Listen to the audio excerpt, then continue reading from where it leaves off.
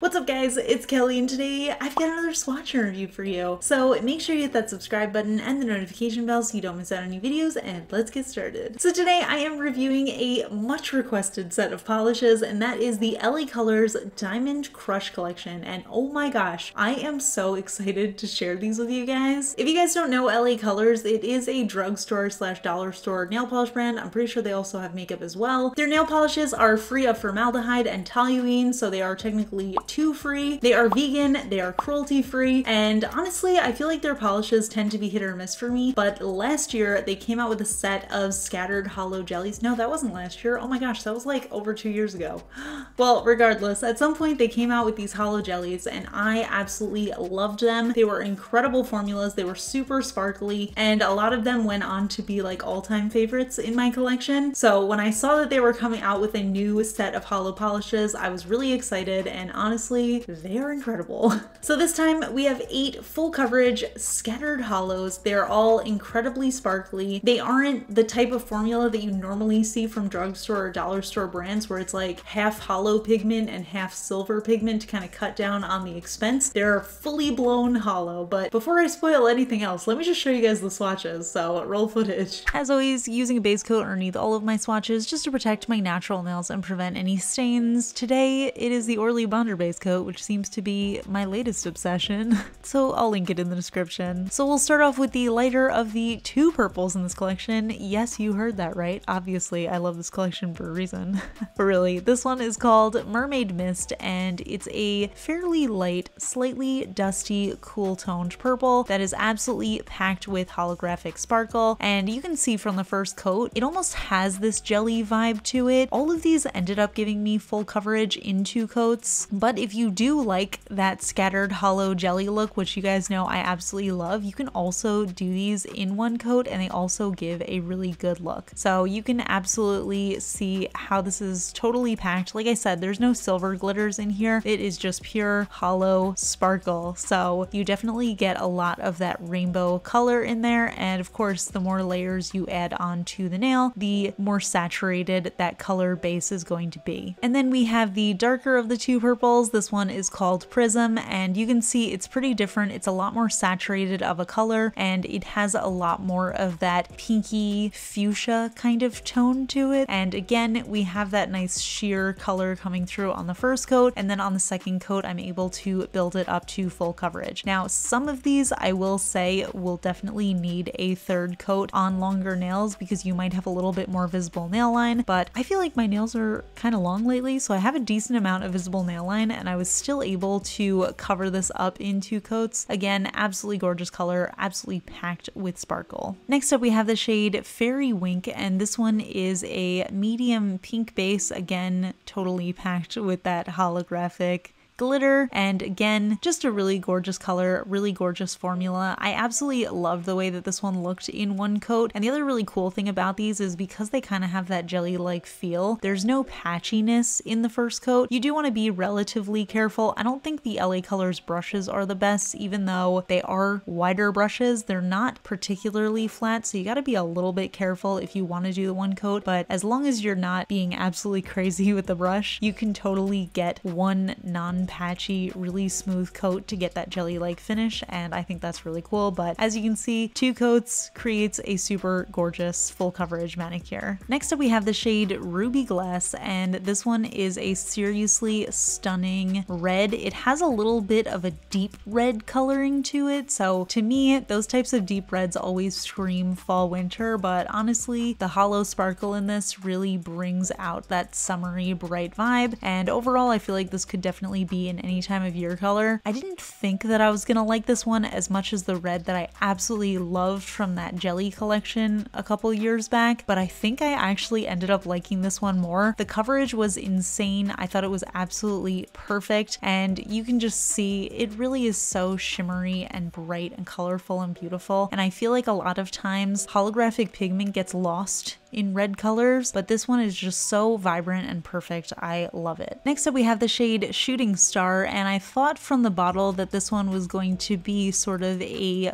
gold glitter, but on my nails it actually ended up looking a little bit more of like a beigey nude or even I guess a champagne. And I think I actually ended up liking that a lot better. On the first coat, absolutely stunning jelly-like. I feel like a few of these lighter ones you can definitely get away with wearing these as toppers, but for me I'm definitely gonna just be wearing these as one or two coats on their own because they're just too pretty not to. But yeah, you can see I feel like there's nothing better than a super sparkly holographic nude because it almost feels like an extension of my skin tone, my natural nail, but just with sparkle. And I just feel like that's the best vibe ever. Next up, we have the shade Aurora Sky, which is a really beautiful teal base, again with that holographic sparkle running throughout. And this completely matches my little streak of hair color, so I totally love that. But in addition to that, the coverage on this one was really, really impressive. Honestly, I feel like in real life, I could definitely get away with one coat. Under my big lights, it definitely shows a tiny bit of visible nail line, but I feel like nobody would be able to see that in real life. And I was very tempted to just leave it at one coat, but I do love seeing the depth of glitter. You know, when you do multiple layers of a glittery polish, I feel like it just looks so much more packed and vibrant on the nail. And I think that really shows with this color. And again, you get a little bit more depth of that color and saturation as well. So definitely love this one in two coats. Makes me want summer ASAP. Next up, we have the shade Constellation. And this one, I'm not sure if I would classify it as a really deep gray or a black, but again, it is totally packed with that holographic sparkle. And because those holo glitters are silver holo, it definitely lightens it up a little bit. So even if it is black, it kind of gets lighter from that holographic pigment. And I was really excited about this one because I feel like black holo is really hard to come by. And when you do find it, it always ends up being the really expensive brands. So seeing that there is a drugstore slash dollar store version version of a black holo I think is so exciting and awesome. And again, it's not completely dark, but I feel like with this one, you could definitely wear this as a topper over a black cream. And I think that would look amazing. Actually, I feel like I should try that ASAP.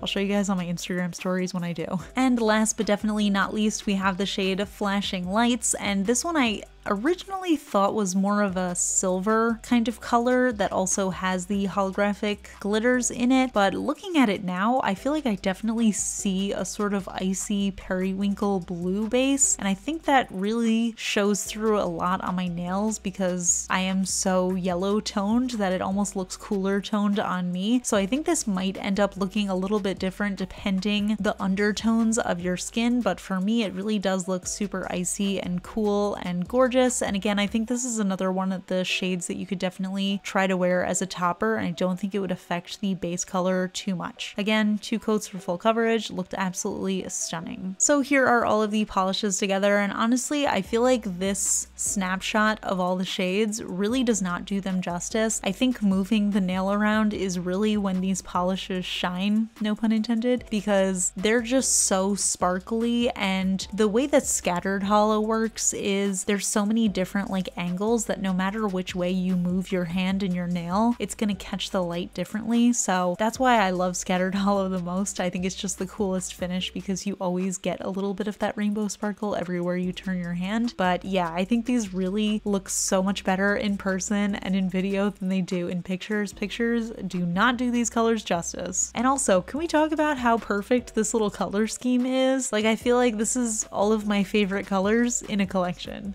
Totally love that. So yeah, as you can see, these polishes are incredibly impressive. The formulas were incredible, the sparkle was incredible, the coverage was incredible. Honestly, this is another set that has 100% made its way up to an all-time favorite. Honestly, I tend to be a little bit more forgiving of super inexpensive nail polish brands just because I love the accessibility of them. So I'm not as harsh as I am, well, I'm not really a harsh reviewer in general, but my standards aren't as harsh as they are with more expensive nail polishes. But honestly, I feel like these really compete with extremely high quality, like indie brands. Like these are honestly extremely impressive polishes. So obviously you can get LA Colors in a bunch of different places. I personally get mine from HB Beauty Bar and there the 13 milliliter bottles retail for $3 USD. And I also have a discount code. You can use the code Kelli to get 22% off your order there. And they also sell a bunch of other brands that I use and review all the time. So definitely recommend checking out their website. I believe they also have the holo jellies that I loved from whenever that was. So yeah, definitely check that out if you haven't seen those polishes because they're also absolutely incredible. So yeah, I guess that's enough of my ranting, but I would love to hear from you guys. Have you tried any of these? Are you interested in trying any of them? Which one's your favorite? Let me know in the comments. We can chat about it. If you enjoy my swatch and review videos, please give this one a thumbs up. It lets me know I'm doing a good job. And if you're not already subscribed to my channel, please consider subscribing. I put out new videos every Tuesday, Friday, and Sunday. And that's it. So I'll see you guys in the next video. Bye. Today's fun fact question comes from Patreon supporter Amanda, and Amanda wants to know, do you get tired of saying the same thing over and over again? For example, this polish is 5 free, which means free of 5 the dangerous chemicals, blah blah blah.